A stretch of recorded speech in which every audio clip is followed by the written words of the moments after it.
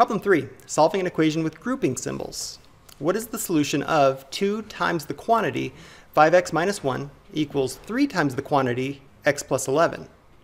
Well, rewrite the equation and then use the distributive property to get a simpler form or to eliminate those grouping symbols. 2 times 5x is 10x, 2 times a minus 1 is minus 2, 3 times x is 3x, 3 times a plus 11 is plus 33.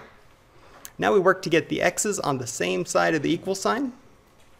Subtract 3x from each side to get 7x minus 2 equals 33.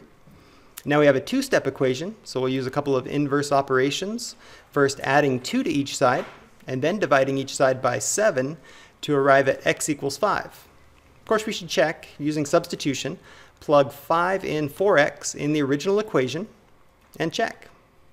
5 times 5 is 25. 25 minus 1 is 24.